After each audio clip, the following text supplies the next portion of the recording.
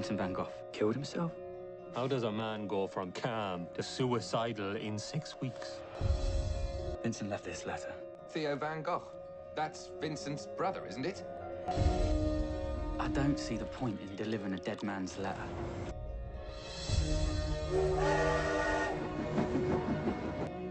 I've had quite enough weeping over that nutcase. His neighbors and the police and the whole town against an ill man. Vincent, what have you done? Vincent! If only I could have been one of them. Great artists are not peaceful souls. No! That is the price of your path. Is it worth it? Did he change his mind? Did he want to live after all? You're loving Vincent.